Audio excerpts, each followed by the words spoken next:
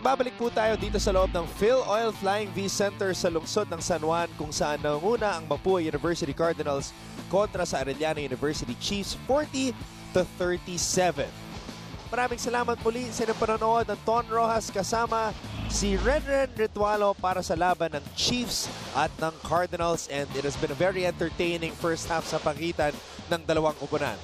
Well, ganda ng simula ng uh, Mapua Cardinals. Pelayo starting the ball game hot, 3 for 3 bago siya iupo ni Coach Atoy ko. Pero ito naman yung rookie De La Torre, nagpapakitang gilas din. Eh. Gumagawa kaagad para kay Coach Ablana with 8 points, 3 out of 4 from the field.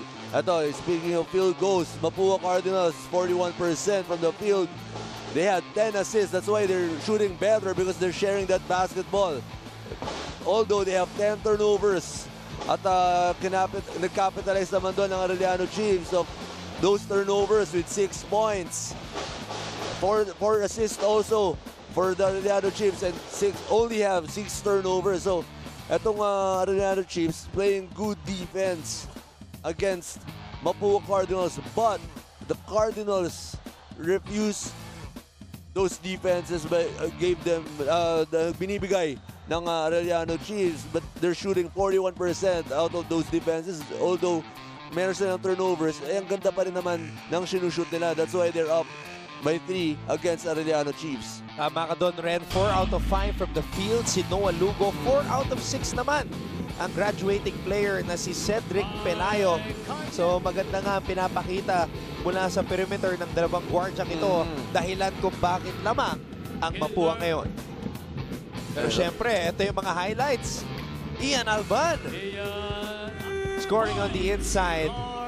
Uh, nakita pa natin kanina doon, si De La Torre din, joint inside. Ito naman, Lawrence Victoria started hot also. Connecting his first three-pointer of the ball game. Lugo pushing that basketball.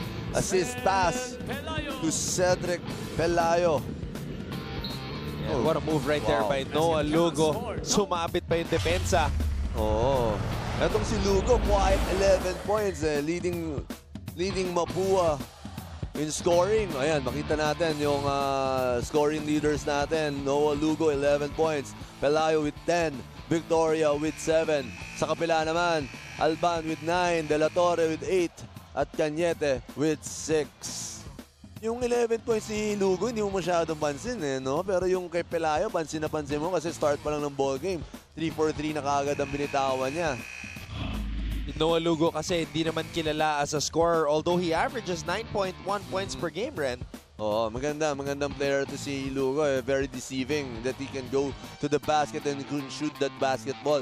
Kasi kanina may wide open three-pointer siya. Hindi siya na-cover kaagad. Hindi na-challenge. That's why he made that shot. Pero you'd like the, the backcourt of this Arellano Chiefs. Very quick. Ian Alban now starting the third quarter with De La Torre. Kanina si Sigura ang kasabay niya. And with Concepcion also. So I guess Coach Junji is going for the players who performed well Yes, in the first yes. half kasi maganda nga yung pinakita ni De La Torre at Alban. Well, if uh, Mapua continues to share that basketball, maganda pa rin ang ititira nila. Although, Bunyag missed that uh, open shot. Assist na naman sana yon para sa teammate niya. Although missed that shot. De La Torre. Alban. Alban looking for some space to operate. De La Torre mula sa labas. Rebound Christian Bonyag. Ito na si Victoria. Victoria. Pelayo. Cedric Pelayo. A knockdown shooter from the baseline. More assists. Galing dito kay Lawrence Victoria. Ang ganda lang ginagawa niya. Assisting that, uh, giving those assist passes to Cedric Palayo. And it makes a steal right now. Going hard to the basket. Victoria, another assist para kay Aguirre. Aguirre could not finish. Aguirre, wala pa rin. At Andun babalik ang bola sa Arellano. Andun kasi sa harapan niya si Michael Cañete preventing Aguirre's layup. Alban against Victoria. Alban with a crossover. Alban umikot. Pinasa kay Sarah Joseph. Sera Joseph, ilalabas ang bola. Alban, huminto, tumira. Wala pa rin. Aguirre comes up with the rebound. Here's Lugo. Bunyag kontra Sera Joseph. Why are you looking to pass? Oh, Yeah, oh, that's why. that's why. Three. he was he was waiting for the play to to Oo. unfold. Well, he's- Pero yun nga, Mas malaki siya doon sa bantay niya. He has to be aggressive and go to the basket para dito kay Bunyag. Pero buti na lang, ang ganda ng pasa niya to Lawrence Victoria with that three-pointer. yun yung pwedeng ah, idagdag ni Christian sa kanyang laro. He can deceive the Yes. defenders by making it look like he's gonna Oo. post up and then kick it out. Kung yun talagang hinahanap niya. Victoria, binigay dito kay Lugo. At pinasabit niya ang depensa. Well, Lugo was not looking to the looking at the basket. He was looking for Ian Alban. Ayun, no? He can post up.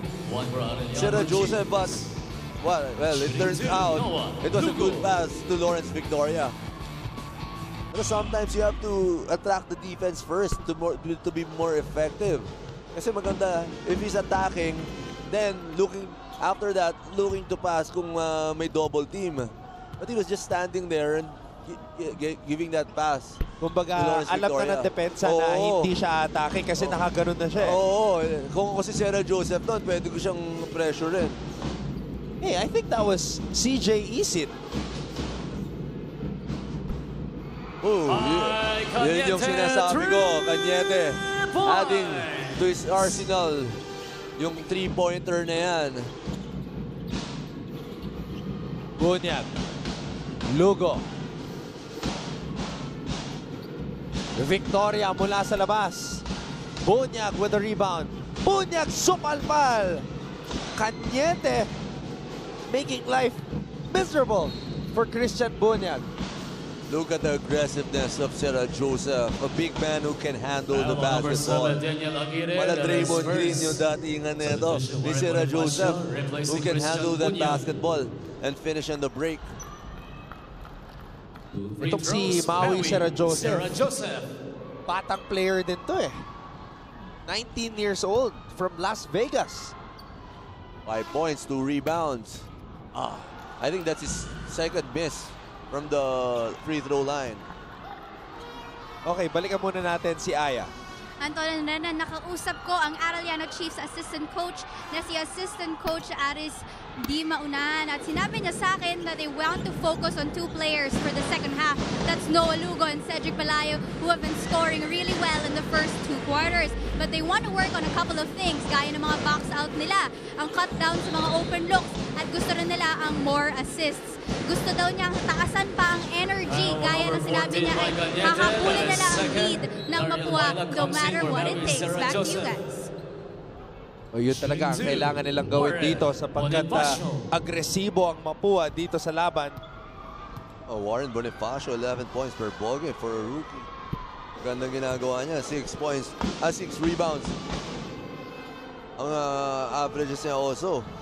Kaya maganda yung pinoint down ni Coach Aris doon kasi nung first half, 4 assists lang ang Arellano Chiefs. Although they have a lots of guards who can create for them, pero they can make those assist passes. De La Torre. Aatake. De La Torre. Mukhang natapilok si De La Torre pag Lucky foul magka ni Lugo. 26, Noah Lugo. That is second. Kumapit agad sa kanyang kaliwang paa. Oo, eh, mukhang sisikipan niya lang yung sapatos niya.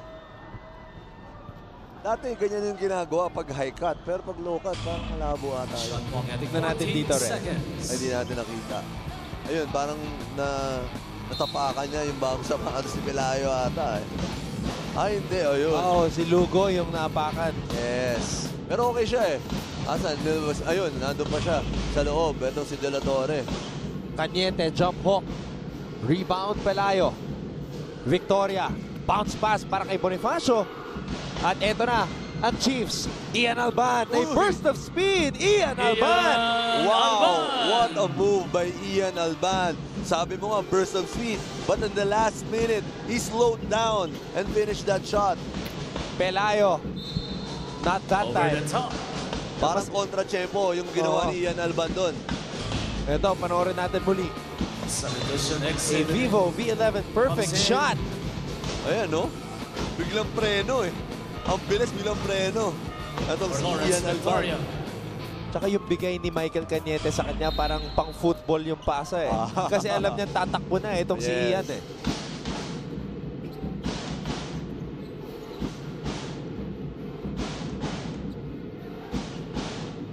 De La Torre.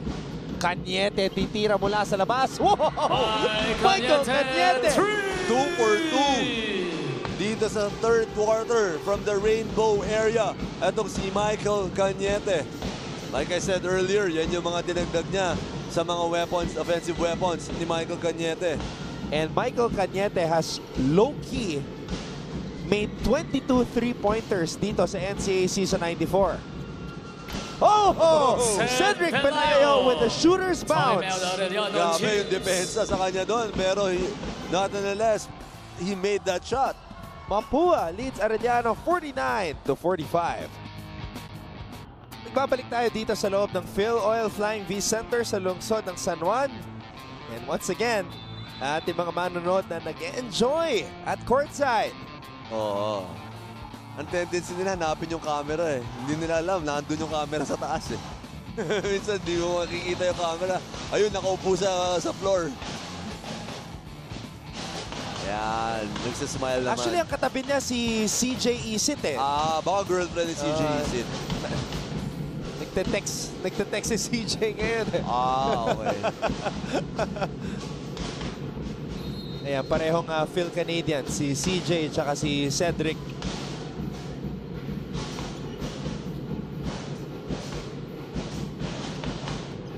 Paila. Concepcion. Fade away. Concepcion's basket is good and he's got six points in this game. Kanina, dalawang drive. Ngayon, pull-up jumper para kay Concepcion. Parang two-way guard to si Concepcion eh. This is a defensive player also. Biteng for three. Bonifacio comes up with the rebound. Bitin ang jumper ni Warren Bonifacio. 10 seconds on the shot clock. 10 to shoot. No, Concepcion with that pull-up.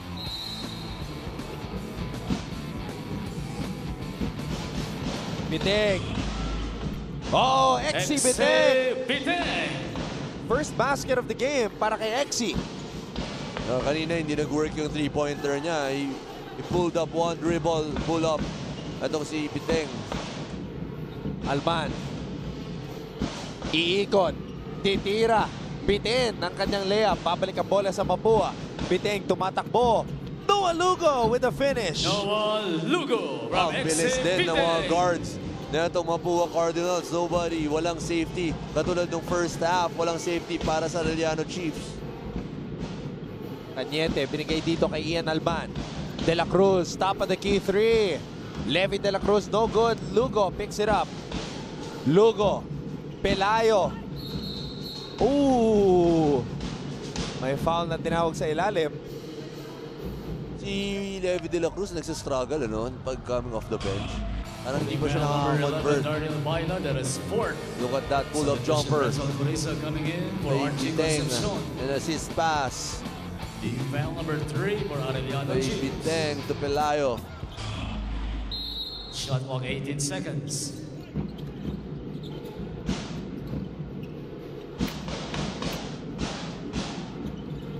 Biteng. Lugo, titira mula sa labas. Noah Lugo is Noah able to Lugo, drain that shot. You have to box out. Biteng get, getting that offensive rebound and an assist pass to the wide open Lugo. Cañete. Yan Talaga, yung- malaki talaga yung kamay ni. Michael. Coming Pero yan yung kailangan niya i-develop. Attacking the basket. Atong si Cañete. Kasi if you want to play in the pros, you have to develop that 11 move also. to make a basket. Bench points, 18 for Arellano. 10 para sa Cardinals. Alcoriza.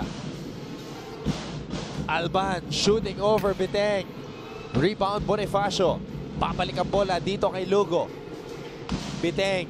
Inside pass. Serrano iikot. Jump hook. Basket is good. Ang Justin ganda ng pasahan ng Serrano. Cardinals. Biteng to Serrano. One dribble hook para kay Serrano.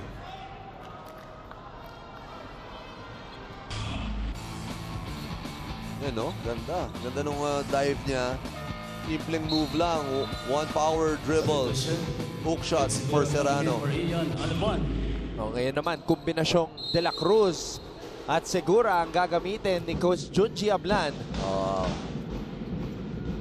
hindi nag-work yung ah, Segura de la Torre. Mapua na na 11-2 run. De La Cruz, Segura, hindi na drumibol! Hindi na Basket for Ken Itong si Ken Segura. What a pass by Levin de la Cruz Segura na sinigurado yung kaliwang layup na yun. May kasama pang free throws to. Nakita mo yung outlet pass na yun. Grabe. Timeout Grabe yung Mapua balanse niya, no? Oo. Kita mo naman yung katawan ni Segura eh. 19 years old, Oo. pero parang pitbull. 58 to 49 lamang ang Mapua kontra sa Arellano. Ayan po ang kampo ni Coach Junji Ablan. And Junji Ablan coming back to the NCAA after being the head coach of Arellano University nung una silang pumasok as a guest team noong 2009. There's CJ Isit, former starting point guard of the Mapua Cardinals. Grabe suporta ng mga Arellano, no? Are- no? Kompleto sila dito. Ang dami nilang ah, estudyante. Oh, it's CJ Isit versus the Arellano community. si CJ lang yun nandito para sa Mapua eh. Oo nga, no?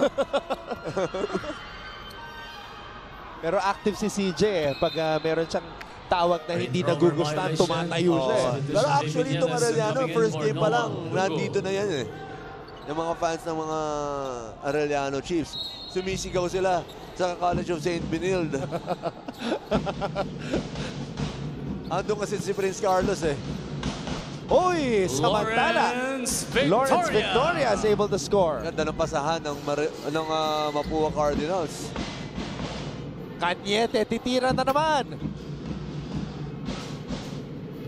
Hindi sumide view si Michael kasi hindi maganda yung bitaw eh. Kanina, sumide view siya Sumide eh. Al- alam niyang, alam niyang papasok na yung tira eh. Pelayo. We were not used to seeing Cedric Pelayo take those kinds of shots. Usually, pag nakaset up, tumitira yan. Samantala, Segura using his body to protect that basketball. Segura. Cañete. Fifake. Aatake. Michael Cañete. Basket is good. Simple shot fake by Michael Cañete. Kagat kagad. Yung initial defender niya, it finishes strong. Tignan mo kung saan magkagaling. That is the 14th foul for Mapua Cardinals. Sa dribble Mike lang eh. Oo. From the three-point line. Well, if you can less dribble, less mistakes. That's a good move. Coming coming from Michael Warren Cañete, finishing that uh, three-point play. At ito yung classic 2-to-1 full court press ni Coach Junji. Ablan. Pelayo. Gamboa. What passing by Mapua? Grabe. Justin That was like three passes on in a in a span of five uh, three seconds. Yung Mapua Cardinals breaking that press by the Chiefs. Alcorizas to back. Oh! Three-pointer is good for Renz Alcoriza. Points. Renz Alcoriza. What a game. Arellano trying to come back. Ngayon naman si Nieles. Binaba ang bola dito kay Serrano. Binangga ni Sarah Joseph. Pushing foul number 32. Mavis Gusto talaga ni Coach Atoy na alagaan ng Mapua yung, yung lead, yung lamang. Oo, hindi. Dagdagan pa nila. shot clock. Aktibong aktibo eh. Si Coach Randy, si Coach Atoy. Gamboa. Uhuhu! Gamboa! Gamboa. Parang hindi siya sigurado dun ah. Sa tira na yun ah. Hindi niya sinasadya. Kaya napapangiti siya ng konti. Tatanggapin na lang niya. Pumasok eh. I'll take it anytime. Kahit saan pa tumama yan, basta pasok. Segura. Over Pelayo, Gamboa, nakuha ang rebound. Ito na si Victoria. Victoria, tumatakbo. Pinasa dito kay Nieles. Inside pass para kay Gamboa. Natapik ni Cañete. Everybody's looking to pass. Di para din sa Mapua. They're so unselfish in this ball game. Gamboa. Gamboa. Victoria with a fadeaway. Lawrence, Lawrence Victoria. Victoria for three. They're very unselfish itong Cardinals. Gamboa creating that basket for, for Lawrence Victoria. At labing na nawa ang lamang ng Mapua. Victoria with 8 points in this quarter. Oh, ho, ho! Renz Alcoriza! Sinausaw pa! Grabe, galing sa bewang yung layup na yun. Ha? Para kay Alcoriza. At sinabi mo, parang masakit yung bewak niya O kanina. yun yan. Kasi kay, yung timeout, nakita ko, hinahawakan yung bewang niya eh. Last shot time para kay Lawrence Victoria. Victoria likes these last shot moments. Lawrence Victoria, too strong off the glass. Wow. At the end of the third quarter, the score Well, that was a fast-paced third quarter, Ren. Yes, ito yung three-pointer kanina with an assist pass coming from Bunyag. Ito na naman, creating for their teammates. Belayo with that jumper. Oh, Yun grabe, yun, nakataas yun, nun. yun yung shooter's bounce kanina eh. Yes. Assist pass again. Lugo with a three-pointer and that's coming off an offensive rebound by Biteng. Ito naman, the shot fake, one dribble layup by Michael Cañete. From the Alcoriza. three-point line. Oo. From the three-point line, parang Giannis lang, ano? At ito yung tira ni Lawrence Victoria mula sa kanto. That was a Lawrence triple. Victoria. Lawrence Victoria, a big third quarter for him. 8 of his 15 points. Pero ito yung sagot ni Renz Alcoriza. He is A-OK. Oo. But Arellano is down by 10, 67 to 57.